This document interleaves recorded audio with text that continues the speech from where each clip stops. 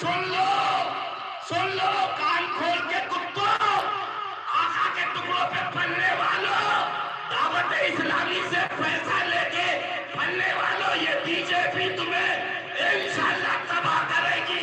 सुनो अशफिया वालों, सुनो अमजदिया वालों, सुनो नाम नेहात मौलवियों, नाम नेहात मुफ्तियों, इंशाल्लाह जेल में हो।